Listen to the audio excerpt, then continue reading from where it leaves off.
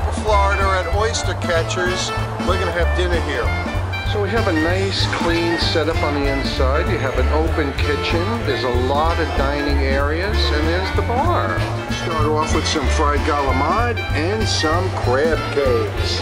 And they just brought over this homemade bread and salt and butter. They opened it December 1st, 1986, and the restaurant actually opened about two weeks after the hotel opened because it wasn't quite ready yet. Um, and from then on, the history uh, has been made. It's the best seafood restaurant on the west coast of Florida. Whoa! It's about the calamari being the best in the world. I had a gentleman here the other day, 87 years old, grew up in Sicily. He says, I've eaten calamari all my life. I grew up on it. He says, I've been all over the world. It's the best calamari I've ever had. Okay. Weeks ago, the singer Engelbert Humperdinck was in here.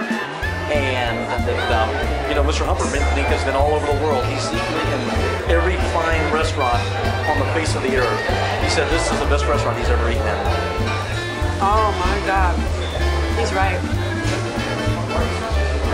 That's awesome.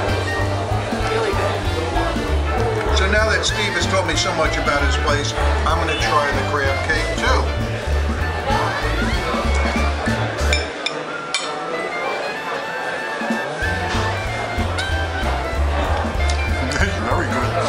Right, so they got this really great sourdough bread, and they got this homemade sweet butter that they make from contented cows.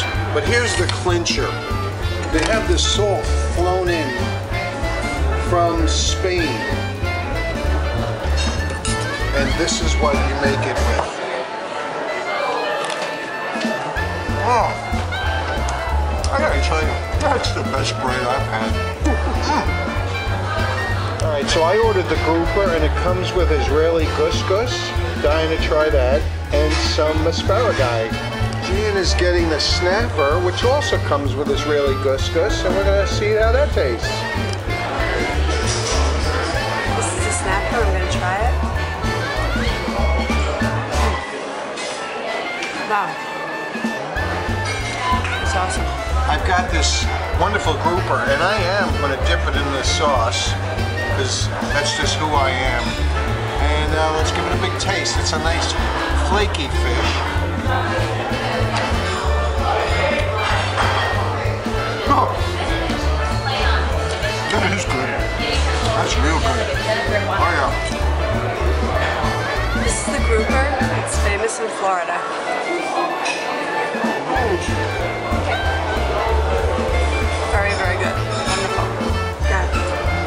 So I'm gonna try the snapper, which is a flakier type of meat. Oh, that, that is wonderful. Oh yeah. Good call on Oystercatcher.